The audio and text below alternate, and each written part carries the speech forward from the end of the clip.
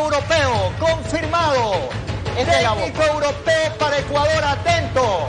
Aquí está el nuevo técnico, Jordi Cruyff, nuevo estratega de Ecuador. Aquí está el técnico de Ecuador, 45, 46 años en la memoria. No me traiciona, director deportivo, secretario técnico, trabajó en Chipre, trabajó en Israel, andaba por China. Creo que se estaba esperando la culminación de su compromiso profesional en China para dar el puntapié final.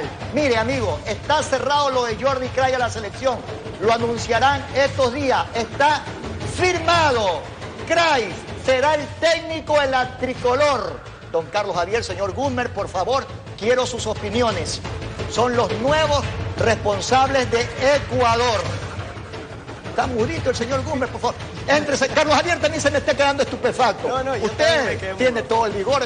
Ya Andresito ya pasó la edad suya, pero de todas maneras. No, no, es que a ver, sinceramente, yo esperaba otro nombre. Esperaba alguien del medio. Me sorprende el nombre porque Cruyff, en el mundo del fútbol, tiene el apellido de, de, papá. del papá. De ahí no hizo nada más. Es la realidad, me sorprende. Imagino que Cordón, si es que se da, lo tuvo involucrado ahí, pero yo esperaba un, no sé, Sánchez Escobar, un Miguel Ángel Ramírez, lo de Craig me sorprende, me deja tónico. No, no le puedo decir, no lo he visto, no ha dirigido equipo. ¿Qué le pasó?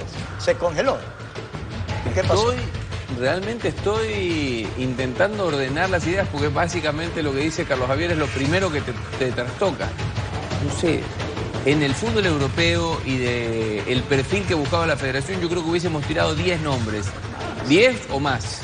Tal vez, ojo, ¿ah? y no de los importantes, no de los renombrados, porque eso no lo puedes pagar. Me refiero a lo mejor nuevos prospectos, entrenadores que a lo mejor hayan pasado por, por ciertos retos que a lo mejor no les funcionó.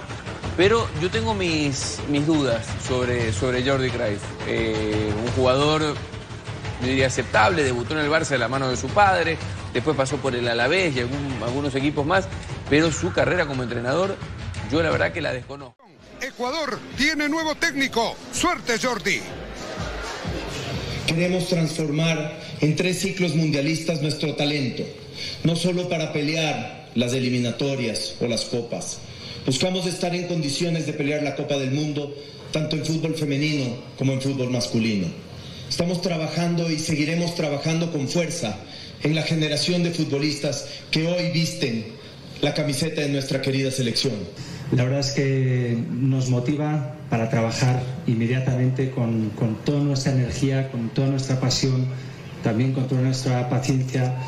Tenemos una adaptación súper rápida, eh, estamos preparados para el reto que se nos viene, con partidos difíciles, pero eso también es la belleza de nuestro trabajo, de encontrar siempre soluciones a los problemas que pueden venir.